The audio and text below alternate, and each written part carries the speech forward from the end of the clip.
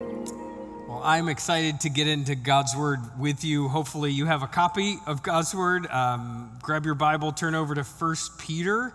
Uh, we're going to be there. We're getting towards, I realized this week, I'm like, we're getting towards the end of First Peter already, which is really exciting and really fun. Uh, but we're going to be in First Peter 4 today. Uh, I love that we've gotten to be um, already looking at child dedications. That's like one of the fun things that we get to do. It's, if I can just let you in on a little bit, like things like that and baptism and weddings and all those are like that's like the fun part of getting to be a pastor of, of getting to be there when um, uh, during important milestones in people's lives. And um, one of those things that I, I, actually it sounds a little weird and morbid that uh, i might say this but um, i do actually really um, look forward to the times when i'm able to be there for people um, when they're going through a difficult time like a funeral. And some of those most difficult moments in all of our lives. The last time I checked, the death rate was 100%. And so it's happening to all of us. We're all moving towards that each and every day. But there is something about um, that time, about a funeral or a memorial service. You know, Psalm 90 tells us to um, teach us to number our days that we may get a heart of wisdom. And I find a lot of times through those difficult days, those kind of critical life moments, um, it does just that. The, the, Lord uses those to allow us to look at our own lives, to, to look at our own frailty, to look at how quickly life is passing us by and how quickly the end is coming for each and every one of us. And, and that allows us to have a little bit of wisdom in knowing what, what am I supposed to do now? like many of you have heard some of the exercises that um, we can do from time to time, like to write out your own obituary you know, or maybe what, what would you hope would be written on your tombstone when uh, you're no longer on this earth? And some of those, they can be very heavy things. You're like, how are we starting a sermon like this, Jeff? But I, I think when we look at the end and where we're headed and we think about what realities are there, what are the things that I want and hope that my kids will say about me when, when I'm no longer here? that can help us have a lot of wisdom in knowing how should I live today so that those things are true of me in the future. You sort of work backwards with that. It's a powerful exercise to begin with the end in mind and, and what the end might look like. And hopefully that can change some of the reality of what I do and how I live today. I'd like to take a moment and pray before we look into God's word around this idea. Father, we are grateful for your word and grateful for um, each and every passage and each and every word that you have inspired. These truly are your words to us. And so we pray that you would allow us to receive them as such. Um, God, give us a heart of wisdom as we think about the end coming soon for each one of us and think about how fleeting this life is in this strange world. God, give us a heart of wisdom as we move forward so that we may honor you today with all that we have. We pray in Jesus' name. Amen. So today we're in 1 Peter 4 1 through 11, and Peter has this little phrase that's actually in verse 7 that we'll come to in a minute. And he says, The end of all things is at hand. Like Peter's telling us with all of this, he's, he's been telling us all along that we have this eternal, secure inheritance. It's awaiting you in heaven. After you die, if you've turned from your sins and trusted Jesus Christ by faith alone for your salvation, then you have an inheritance that's awaiting you. And it's coming quickly, quicker than most of us think. It's coming quickly. And Peter here says the end of all things is at hand. It's coming soon. And so, what he's doing in this passage is telling us Jesus' return is it, it's coming fast. Your time on this earth is coming to a close quickly. And so, because of that, how exactly are we supposed to live? How are we to live as elect exiles in this foreign and strange land, knowing that the end is coming really quickly? Peter gives us four things in this passage. First, arm yourself for suffering, leave the past behind.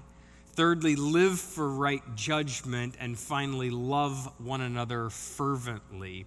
First, arm yourself for suffering. He begins, verse 1 of chapter 4 of 1 Peter. He says, Since therefore Christ suffered in the flesh, arm yourselves with the same way of thinking, for whoever has suffered in the flesh has ceased from sin. So he's beginning this passage reminding us of the suffering that Jesus has uh, accomplished, all of the things that happened to him. Think a moment about Jesus' ministry here on earth. He begins with a, a, a, a miracle turning water to wine at a, um, a wedding, and, and over and over he's, he's healing people, he's doing all of these great things, and people all around. He's healing the lepers and, and people who can't walk. He's casting out demons and preaching, and people just gather around him, flocking to him to be healed and then to see the miracles um, that he's accomplishing. And then he's a- attracting critics all around him. Many people who are against him because he does things like heal someone on the Sabbath day because he hangs out with tax collectors and sinners, these people who were like the outcasts of society. Jesus is coming close to those people and spending time with them.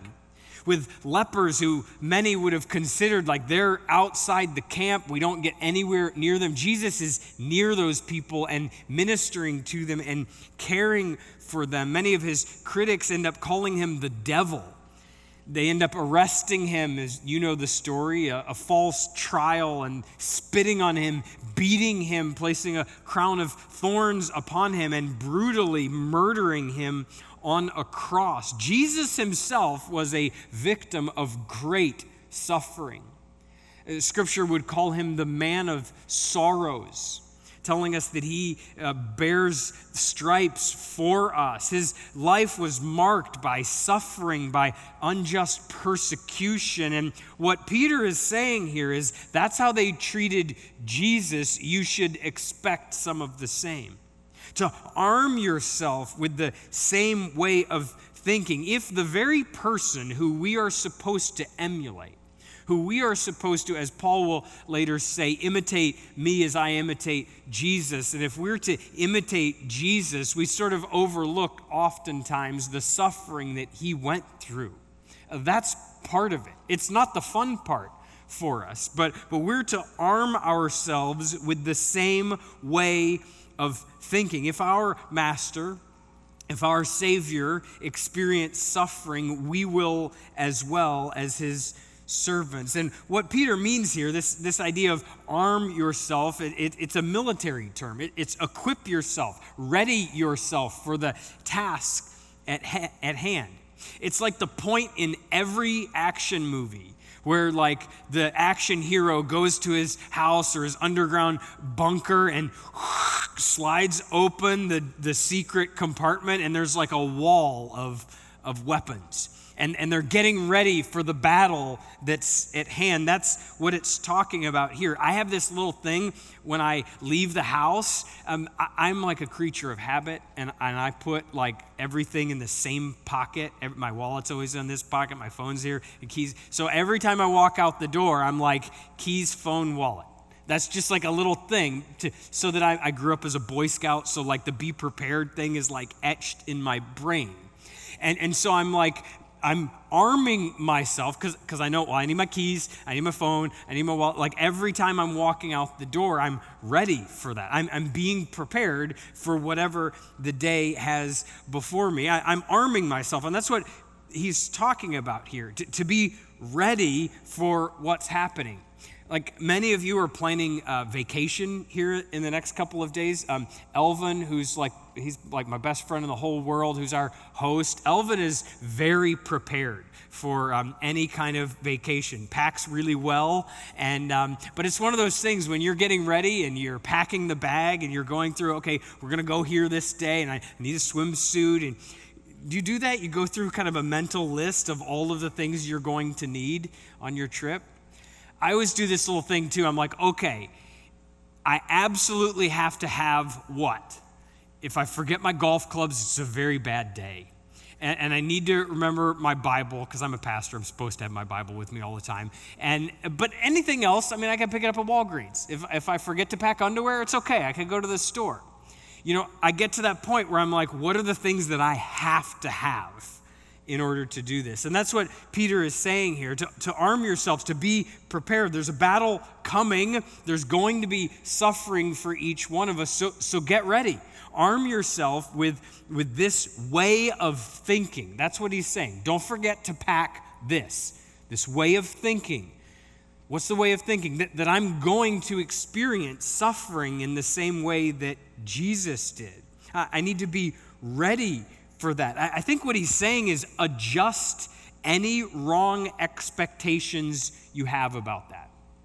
We've said often that, that many times as believers, we have this idea that if we follow Jesus, everything is going to be rosy.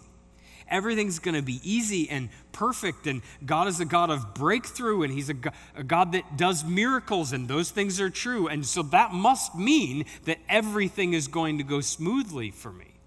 But that's not what the Bible says. That's not biblical Christianity. That's not what Jesus experienced. And we're to arm ourselves with a way of thinking, a right expectation for what's going to happen. You should bank on God's promises. God makes a whole lot of promises, and every single one of them will come to pass. You should remember those things. You should focus on those things. I have a little thing in uh, Scripture. I highlight in orange God's promises. So they're very easy to, I just flip through my Bible. Look at it. This is just a page of promises that God makes to us. That, that He promises that, here, here's, I just flipped to this. Wait for the Lord and keep His way. He will exalt you to inherit the land. You will look on when the wicked are cut off. It's a promise of God. He promises us certain things, and you can bank on those things, but be careful because God makes promises in His Word, but oftentimes we'll hear a song or we'll hear someone stand up and speak, and we'll take that as a promise of God. Can you find it in God's word where he says that? And if he does, then it's a promise of God and it is sure to come to pass. But but be sure that it's God promising those things. Because there's a lot of things that we Christians seem to believe that God's going to promise, but he doesn't ever actually say that. That, that God will deliver you and, and provide your dream for that. Well, maybe not maybe your dream won't come true, but, but God's going to be good in the midst of it. God never promises that your illness will be gone this side of heaven, but He does promise in heaven there will be no more sickness or death. Paul prayed, Would you take this thorn from me, this thorn in my flesh? And God said, No, my grace is sufficient for you. God never promises that our loved ones won't die unexpectedly, but He does promise that He has conquered death for all time. God never promises that your heart won't be broken to pieces, but He does promise that He will be near to the brokenhearted. God never promises you won't experience suffering, but He does promise that everything that happens for the believer is for your good. You can bank on that promise. So adjust your expectations because oftentimes we expect peace and pleasure and prosperity, that, that all of our futures will be perfect, that, that everything will be great for us, but that is not what God's word promised. But He does promise that it's for your good. So adjust your view of your expectations. Arm yourselves with this way of thinking. It's a way that we can be prepared.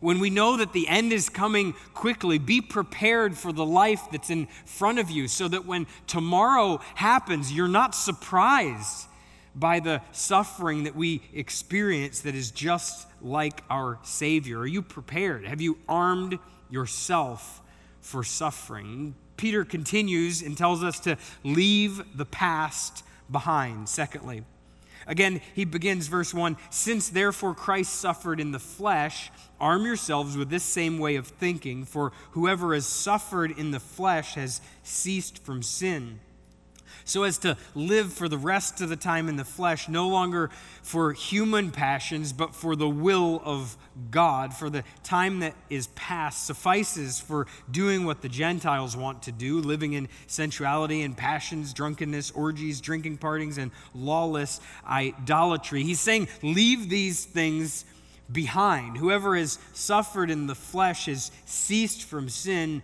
no longer for these human passions, but for the will of God. For those of us who've suffered persecution like Christ did in this life, we've shown that we've, we are, are continually making a break from a sinful past. Because if you're willing to suffer for Jesus Christ, not the typical suffering that just happens in this life with illness and death and brokenness and things like that, but, but actually suffering because of righteousness' sake, because you've chosen to do the right thing or to live according to God's word, and you're experiencing suffering, then you're showing that He, Jesus, is worth more to you than the pleasures of this life or what you might even want in the moment. Because Peter's point here, he's pointing back to Jesus' willingness to suffer according to the will of the Father. If you remember, he's in Gethsemane and he's praying, Lord, please take this cup away from me, but, but not what I want, what you want. He's, he's actually saying, Father, if there's a way I cannot go through with the cross, please provide that way. But if, if there's not, if that's the only way, then I will suffer according to your will because that's worth more to me than the passing pleasures, than the avoiding the suffering that's there. He's willing to suffer and be put to death in order to accomplish something greater, our salvation. He's, Peter here says the one has ceased from sin. Peter's not saying that if you suffer, if you go through difficult times in your life, then suddenly you're going to be without sin, that you won't sin any longer at all. Nor is Peter saying that suffering makes some people more holy and, and some people hardened to the Lord. He, he's talking specifically about suffering for doing what's right. I'm making the decision to do what's right according to God's word, even if I'm going to suffer for it. He's not talking about general suffering that we go through in our life, the health financial relationship or family concerns. He's not talking about that. What he's saying, in a sense, is whoever's suffered for doing the right thing and then gone on to continue to obey God, even in spite of all of the suffering, that person, if you've done that, you've made a decision to make a clear break from a sinful past. So, the, the question, really, I think that Peter is getting at, and the question for us is when things are difficult, will you choose obedience to God's word even if you suffer for it? Or will you choose the sinful path because it doesn't include suffering? Be- because it's, it's easier, because it's more pleasurable in the moment, even if it's fleeting. Let me give you just a couple of practical examples, and hopefully these can help illustrate this for us. We know that God's word says, do not be unequally yoked, that, that a, a believer and a non believer shouldn't be together. But, but maybe uh, there's a gal who's dating a, a guy who's not a believer, who, who doesn't love the Lord, even though she does. Even though God says that, am I going to make the decision to, to break that, to, to suffer some because I want to obey God's word, even though the decision is going to hurt more in the moment than doing what I might want to? Maybe you're asked by your boss to do something that isn't quite ethical and isn't in congruence with God's word It would be much easier just to go along with it and do what the boss says, even because I was asked for this. But because what if I say no? I might get fired. I might, I might have some projects taken away from me. I might have other people on our staff look down on me. There might be some suffering that's there because of the decision that I'm going to make to do what's right according to God's word. Am, am I willing to suffer anyway? Knowing that I'm walking right into the suffering. I'm going to say something that's might be a little controversial to a lot of us, especially given uh, the month that we're in, but in your support or not supporting the homosexual agenda that's in our country all around us. We're in what's called Pride Month right now. Now, I, before I say this, I want to take a, a little aside. God's word is very clear. We are to love all people. That we should be, as believers, we should be the most loving people uh, that non Christians ever meet. We should be compassionate and generous and kind, not hateful or hurtful or, or poisonous to people all around us. We should be the most loving people. And God loves all people and meets every single person right where they are. But God doesn't tell people to stay right where they are. That all of us are sinful and broken people we all, scripture says that we all stumble in many ways. And so the existence in sin in a person's life, it, it doesn't change something there. But God does call us to greater conformity with His will. And God does set some standards and say, this is what's right and it's what's best for you. So now, saying all of that, are you willing as a believer to take the suffering that comes from believing and living a life of obedience to God's word, even if the culture all around you believes that you are a bigot? Are you willing to suffer for that? Are you willing to have people speak wrong, speak poorly of you and treat you in awful ways saying that you're a bigot just because you're keeping to God's word. God's word is pretty clear about some of these things, about the way that we're to view some of these sinful practices, about the way that we're to view our ethical behavior, about the way that we're to view our relationships with one another. Are you willing to do the right thing according to God's word, even if it means suffering for it? Are you leaving the past behind? If so, then you're making a clear break from sin, choosing obedience to God, not, uh, not um, avoidance of suffering as the higher goal. And many of those decisions, and many more that will come in face to face with each and every day, that they don't seem like such a big deal in the moment. They seem like such a trivial. What does it really matter how I interact with it? What does it really matter if I speak the truth? What does it really matter if I cut the corners just a little bit? What does it really matter? But these are all stops along the tracks, and your decisions are determining the, the direction the train is going for you. Uh, remember, begin with the end, because the end of all things is at hand. It's coming quickly, and the decisions that you are making today, even those small, trivial things about the ways that you will choose God's word or choose a path of sinfulness. They are determining which direction your train is going in. Because look how Peter explains it in verse 2. He says, So as to live for the rest of the time in the flesh, no longer for human passions, but for the will of God. He's saying, Make the decision now which direction you're going to live for the rest of the time in the flesh.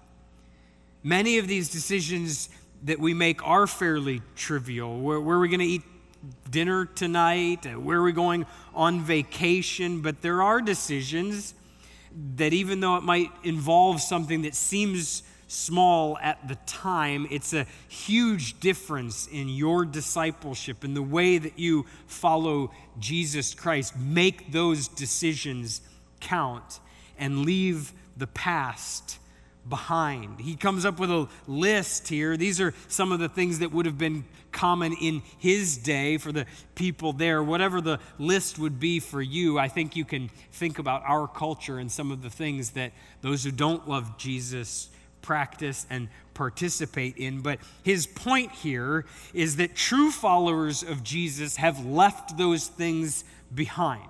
Now we live for Jesus.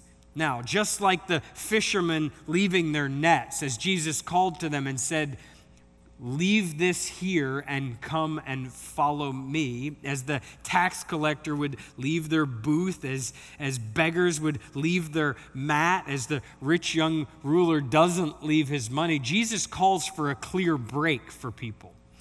Oh, make a decision what you're going to do and who you're going to follow. It's a clear cut. Leave those things behind and now follow Jesus Christ. We often treat Jesus, I think, like, it's, like he's one part of a financial portfolio. I mean, I have some stocks, I've got some mutual funds, I've, I have some real estate, some gold, I got a little crypto over here, and I got a little Jesus. I'm all set. I'm ready for whatever happens in the future.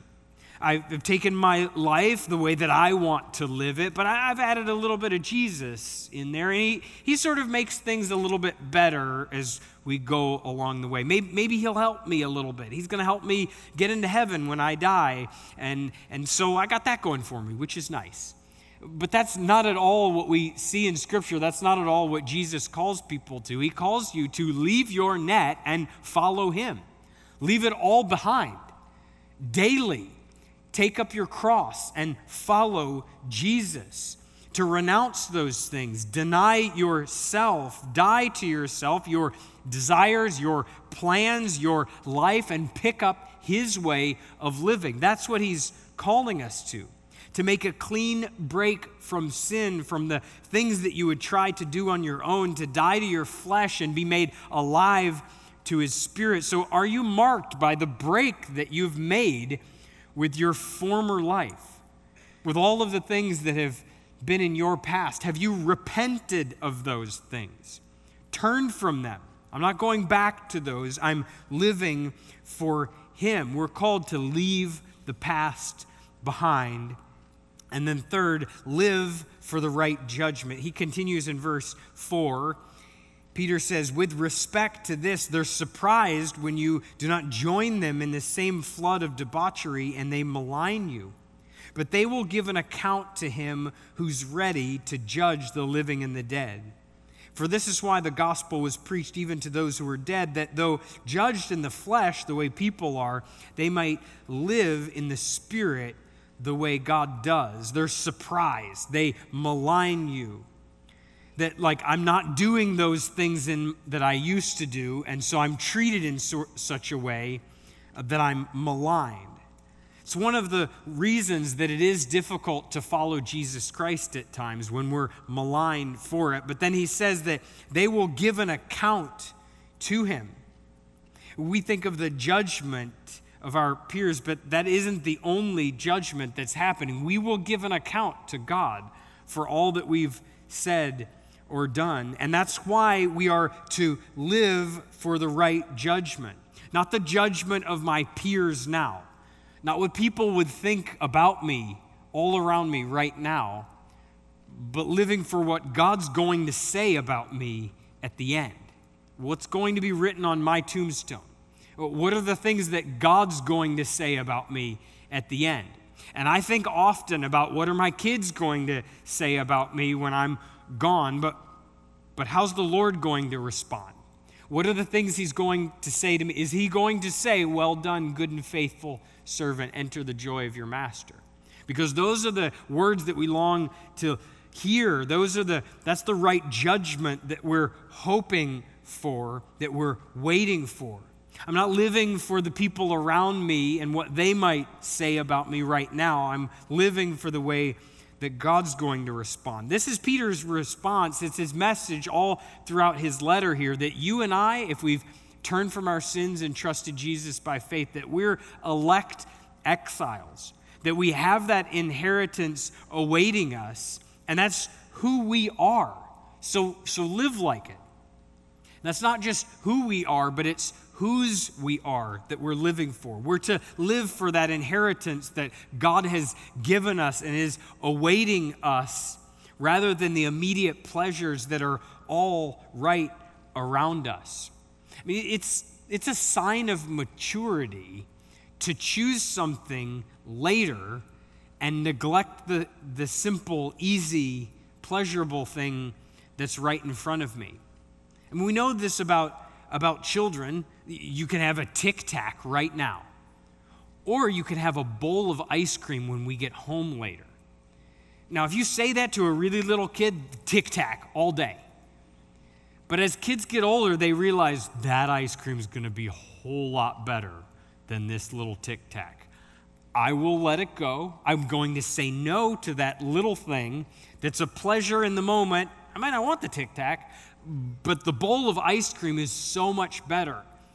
Because of the maturity that that child has, they're going to say no to what's right in front of them and move on to something greater. And it is a sign of spiritual maturity to say, yeah, actually, some of these things around me that they actually don't sound that bad. I actually kind of want to do that thing. It would be a lot easier to cut these corners at work and have the accolades of my peers and my boss think I'm great, but I, I'm, I'm going to suffer now. I'm going to say no to the easy, pleasurable thing now because what's awaiting me is greater. I know that there's a greater treasure. See, you and I, we so often choose the tic tac instead of realizing that there's a bowl of ice cream waiting for us if we would just say no to the tic tac, to turn from those things, to choose with right judgment that something greater is awaiting us. Uh, Paul would say this towards the very end of his life, 2 Timothy 4 1 through 4. He's saying this to Timothy, some of his very last words to Timothy, his protege. And he says, I charge you in the presence of God and of Christ Jesus, who's the judge of the living and the dead, and by his appearing and his kingdom. So, so what am I supposed to do now? Preach the word. Be ready in season and out of season. Reprove, rebuke, exhort with complete patience and teaching. For the time is coming when people will not endure sound teaching, but have an itching ears, they will accumulate for themselves teachers to suit their own passions, the things they want to do right now, and will turn away from listening to the truth and wander off into myths. Paul's saying this same thing that Peter is Turn away from the tic tac and you'll experience the incredible bowl of ice cream later on that we're to live with right judgment right now. Even though things around us might be easier in the moment to choose, to turn away from those things that we would see that are in the flesh and live for right judgment. And then finally, love one another earnestly, Peter would say. He says, verse 7 and following, the end of all things is at hand. Therefore, be self controlled and sober minded for the sake of your prayers. Above all, keep loving one another earnestly, since love covers a multitude of sins. Show hospitality to one another without grumbling. As each one has received a gift, Use it to serve one another as good stewards of God's varied grace. Whoever speaks as one who speaks the oracles of God. Whoever serves as one who serves by the strength that God supplies, in order that in everything God may be glorified through Jesus Christ. To him belong glory and dominion forever and ever. Amen. He tells us, above all, keep loving one another earnestly. Continue to do it with passion, with fervency, with fullness. Keep loving one another. And he says that love covers a multitude of sins, that it, that it overlooks the, the ways that we hurt one another, the things that we might have against one another. Do you have things that you overlook in the people who you love? The people around you in your life who, who you love. You have little things that you overlook some of those things because trust me, they have them about you. We overlook things for the, the people who we love. I mentioned a few weeks ago um, about the fact that I love making a peanut butter and jelly sandwich and dipping it in milk. And I know some of you think that's great. My family, they overlook that. They, they still love me, even though they think it is disgusting that I do that. There are things that we choose to overlook for the people that we love, the, the things, the ways even that we might be hurt, but we're overlooking those things for the sake of love. And he says one way that we're loving one another, he says to show hospitality without grumbling. Hospitality, that I'm sharing my time and the things that I have. This at times can cause grumbling. He says to do it without grumbling. But some of us, we can fa- find ourselves falling into that, especially if we feel like we're giving more than we expected to in the first place. Especially if we feel like, you know, people are sort of overstaying their welcome here. you know, everyone who's grown up in the Midwest, you know the unwritten sign that it's time to go. It's time to leave a person's house, right? It's like the, the, the conversation lulls a little bit there's a little bit of quiet, and then someone will go, Welp. It's, it's the leg pat with the word whelp. That, that's what it is. Welp, that is a sign that it's time to go now. So if you're at someone's house, that is their polite way of saying, like, I want you to go home now. Or the, what is the thing? Like, you don't have to go home, but you got to leave here. You know, that kind of thing. That's what they're saying. It's a polite way of saying, like, I, am done. This, this is a, about all I got. But Peter here is saying, like, don't grumble about it. You can, you can whelp and ask someone to leave. It's totally fine. Uh, but don't grumble about the hospitality that you're showing. It, it's easy for us to get tired of, of the sharing that we may do, of the caring for the people around us and the, the giving to others. It can be uh, taxing at times. Now, I'm, I'm not saying you should be a doormat that you shouldn't have any boundaries. I'm not saying that at all. But far too often we start whining because we feel like we're, we're giving too much at times. And he's calling us to, to be long suffering in that. Show hospitality without grumbling, do it with a good attitude. Joyfully serve the people around you. Yes, I know it's giving to others and it can be taxing at times, but there's great joy in doing that. And that is what he's saying here uh, that we should do it without grumbling. You and I, we have lots of things that we can share. You can share your time. You have an b- extra bedroom you can share with someone, vacation spots, or a car that you're not using, or, or having somebody over for dinner because you're a great cook, or, or all of those sorts of things. You got a boat and you want to take people out on it. I don't know what it is but use what the Lord has given you, entrusted you. Use that to care for the people around you, to show hospitality without grumbling. And that's what Peter is saying here. He, he's saying, you know, this stuff doesn't belong to us anyway, it's just been entrusted to you. And so use it to bless other people. That's what Peter goes on as he's coming to an end of this section here. He says, As each one has received a gift, use it to serve one another. Notice you have a gift. I don't know what that gift is, but God's entrusted you with something. So use it to serve one another. And notice that your gift is God's grace to his people. You're a good steward of God's very gr- varied grace. The things that God has entrusted to you, you're a steward of His grace, and you're able to be a blessing to others. Notice it says, as one who serves by the strength that God supplies, you serve by the strength that God provides you. He empowers you for service for Him. So, some of you, uh, as Elvin was talking about Brewhouse and, and the opportunity just to come meet our neighbors, you're like, I, I don't know, I'm a little nervous and I don't know, I don't know how to make coffee and I don't, don't know how to. Listen, God will provide what you need in that moment. You need to just be willing to do it. Just, I'm willing to show up. I'm willing to say hi to some people. I'm willing to pet a dog and offer them dog treats. I'm willing to do that because He's empowering our service. And the goal of all of this, notice what Peter says, the goal of all of it is so that people around us would be built up, that they would be encouraged and grown in their uh, love for the Lord, and that God would be glorified through all of it, in order that in everything God may be glorified through Jesus Christ. To him belong glory and dominion forever and ever. Amen. His point in all of it is that we're just God's stewards. None of it belongs to you anyway. None of it belongs to me. I don't manage, I just manage what I've been entrusted with. And I work for another as a steward.